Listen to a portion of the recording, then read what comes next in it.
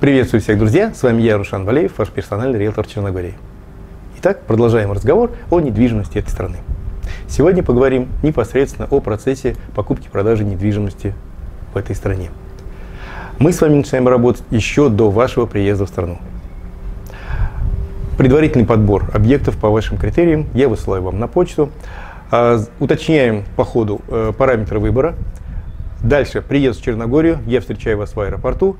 Мы ознакомимся с регионом, где предполагается приобрести недвижимость, а, просмотрим объекты на месте, которые мы наметили, а, выбираем дальше сделку у нотариуса, оплата, оформление недвижимости на нового собственника, сопровождение вас в Черногории, помощь в адаптации в стране, она для вас все-таки новая, управление вашей недвижимостью, это по вашему желанию. Это схема. Желающие найдут ее на сайте агентства по ссылке под этим видео. Сделки с недвижимостью в Черногории обязательно оформляются нотариально. Все объекты на учете э, в кадастре. Это управление недвижимостью Черногории. И в налоговом управлении. Нотариус является гарантом того, что продавец получит всю оговоренную сумму, а покупатель приобретаемую недвижимость. Особенно если оплата происходит не сразу. И вкратце о налогообложении. Налоги на недвижимость по ставкам одинаковы как для иностранных граждан, владеющих жильем в Черногории, так и для граждан страны. Есть понижающие коэффициенты, которые могут применяться только э, к единственному жилью резидентов страны, но это не сильно влияет на окончательную сумму к уплате. Все расходы и налоги по оформлению недвижимости оплачивает покупатель. При совершении сделки купли-продажи недвижимости в Черногории покупателю необходимо оплатить единовременный налог в размере 3% от оценочной стоимости государственная кадастровая оценка объекта проводится на основании рыночной, подчеркиваю, стоимости недвижимости.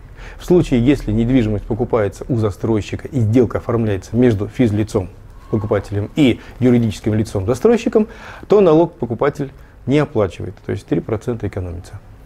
Ежегодный налог на недвижимость составляет в среднем 0,1-1% от стоимости объекта, в зависимости от его местоположения, типа объекта, ну и других характеристик. В среднем ежегодный налог на недвижимость в Черногории составляет от 50 до 500 евро.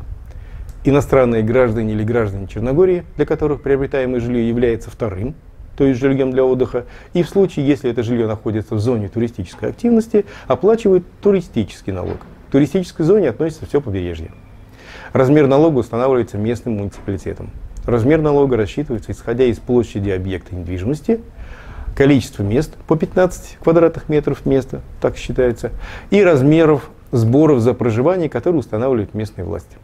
Например, на Барской ривьере за дом площадью 200 квадратных метров с участком 10 соток в 600 метрах от моря оплачиваемый налог будет 280-350 евро в год.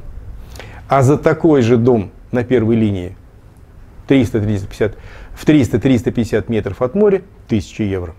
На Будванской ривьере налог может достигать и полутора тысяч в год. Это основные вопросы, которые мне хотелось затронуть, чтобы вы получили представление о рынке недвижимости Черногории. Если осветил не все интересующие вас вопросы, спрашивайте, пишите в комментариях к этому видео или звоните вот по этому телефону, на котором есть Viber и WhatsApp. Отвечу на ваши вопросы в личном сообщении, или они послужат материалом для следующих видео. Вместе мы разберемся в особенностях рынка недвижимости Черногории. И до встречи на солнечных берегах Адриатического моря в Черногории. Чао, друзья мои!